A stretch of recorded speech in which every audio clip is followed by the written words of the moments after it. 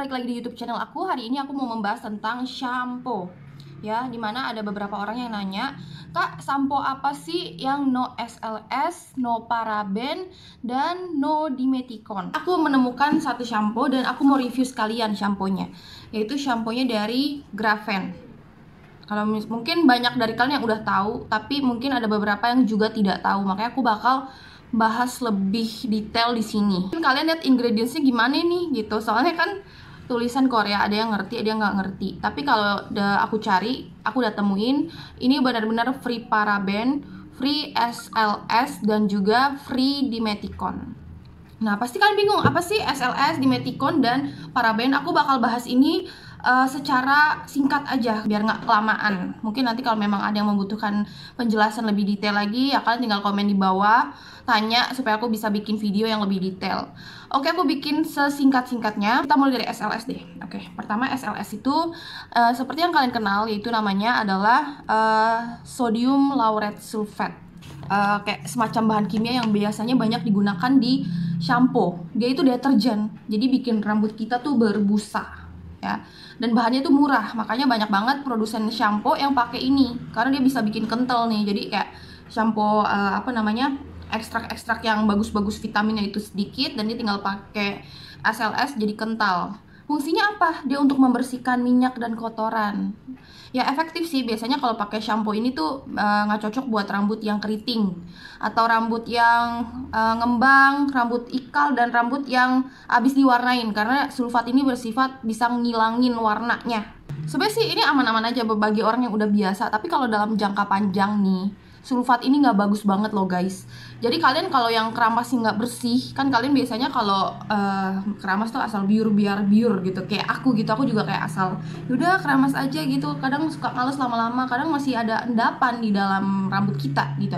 Nah aku uh, baca-baca kalau misalkan itu nggak bersih endapan sulfat bisa bikin rambut kita tuh jadi rontok. Jadi that's why kenapa kok rambut aku jadi yang tadinya nggak rontok jadi rontok. Jadi kalian harus perhatikan itu. Bahkan sulfat itu uh, adalah salah satu penyebab kanker. Biografen berkaitan dengan rambut rontok.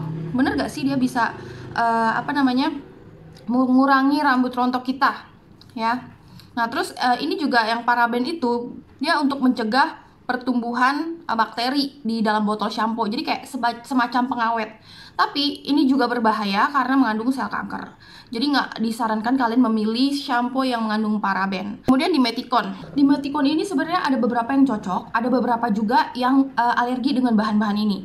Kenapa dimeticon dimasalahin? Padahal kalau kalian cari searching di Google itu pasti aman. Karena dimeticon itu kalau misalkan uh, bahannya ini sulit uh, sulit dihilangkan oleh air, ya. Jadi dia sebenarnya ingin mengunci kelembapan. Tapi berujung pada masalah gitu ya. Kalau misalkan uh, dalam jangka pendek di Menticon ini yang kayak kalian yang nggak alergi, ini bagus karena dia itu uh, sebagai apa ya pelindung. Jadi kayak bisa kita bilang adalah hidrofobik, lapisan hidrofobik.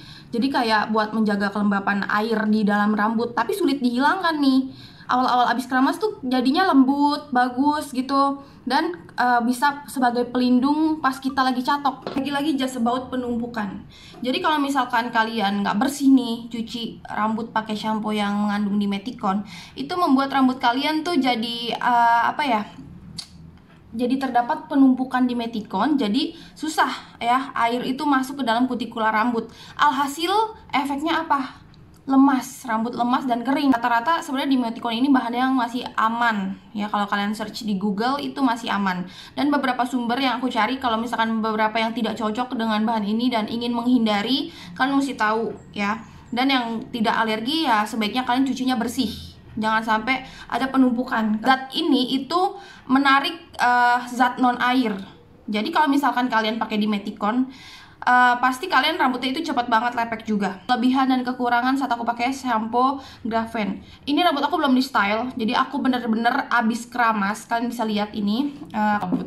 Rambut aku setelah keramas. Ini bener-bener nggak di style, jadi lurusnya kayak gini ya dan ini juga yang uh, aku juga pasti cari shampoo yang apa yang aman untuk sehabis keratin. Bahkan kok aku bingung nih kok rambut aku agak rontok gitu. Tapi kalian bisa lihat rontok per hari aku uh, seperti ini sebanyak ini. Dan ini juga rontok per minggunya seperti sebanyak ini. Aku kumpulin ya. Jadi aku kumpulin di dinding kamar mandi.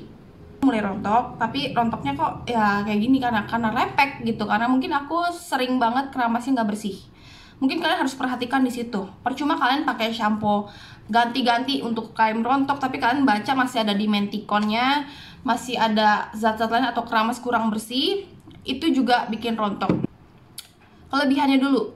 Kelebihannya ini dia ngelembutin sih. Kalau misalkan kalian cuman pakai shampoo juga nggak pakai conditioner, aku rasa dia juga udah cukup. Jadi kayak ini shampoo tuh shampoo conditioning, kayak nggak kering jatuhnya pas abis keramas itu lembut. Nah ini juga no paraben ya, no dimetikon juga. Nah terus tadi kan awalnya suka dan wanginya juga kalem banget nih. Kalian mungkin bisa lihat juga nih teksturnya. Nih ini benar-benar aku review jujur ya nih.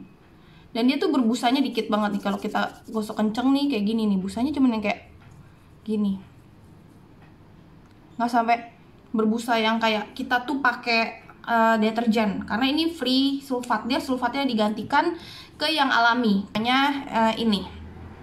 Terus untuk rontok ya kalau aku sih emang awalnya sih nggak begitu rontok banget nggak begitu banyak. Jadi aku lihat ini rontok yang kerontokan yang aku miliki tuh wajar. Kalau ditarik tarik gini juga rontoknya paling cuma satu helai kayak gini tuh.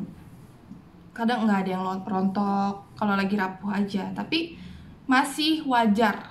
Kekurangannya itu untuk grafen ini kalau aku pakai ya mungkin bagi kalian ngerasa ini agak pricey tapi menurut aku sih worth it aja karena uh, lama banget habisnya ya.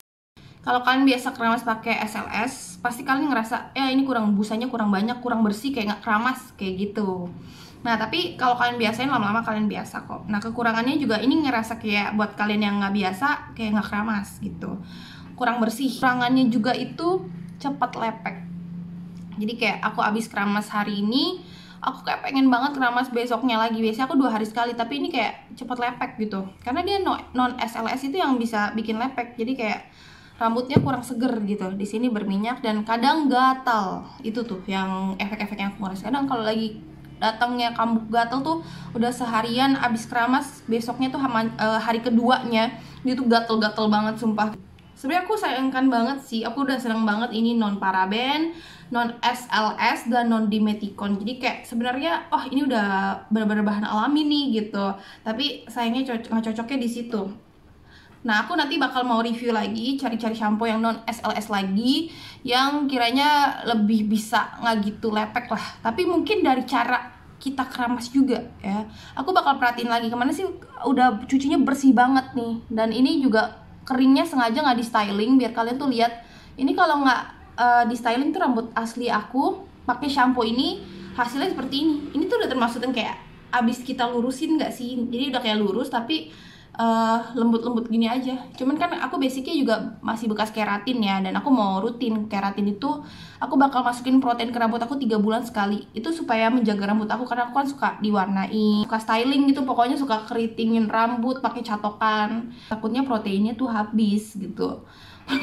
Kalau proteinnya habis rambut tuh jadi cepet kering kaku kayak kerupuk. Ini aja sedikit kayak kaku gitu kan Nah gitu guys, nah tapi menurut aku sih udah better banget gak sih kalau dari awal kalian ngikutin tuh YouTube aku perjalanan mendapatkan rambut lurus itu Oke okay guys, sekian review singkat dari aku tentang Grafen Shampoo. Semoga kalian terbantu dengan review ini.